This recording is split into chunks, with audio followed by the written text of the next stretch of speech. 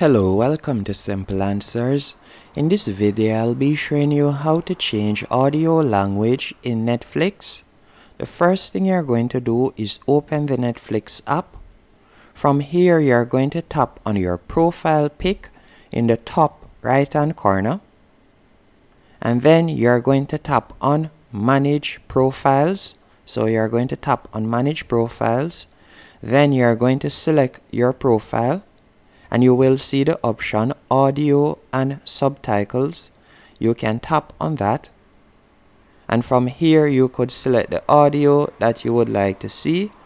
As you can see you have a list of different languages you can choose from.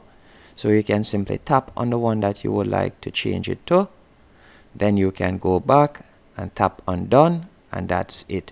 Hope you found this video helpful and informative if you did, be sure to hit the like button and subscribe and thank you for watching.